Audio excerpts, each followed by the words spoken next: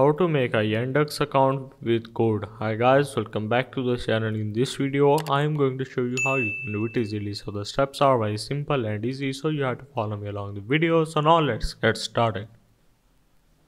First of all, simply search for this yandex.com and you have to go for this login button on the top right. Once you are here, simply go for this get started for sign up once you have entered here first of all type your first name last name your email address.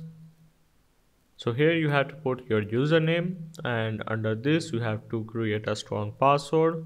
And in confirm password type a same password.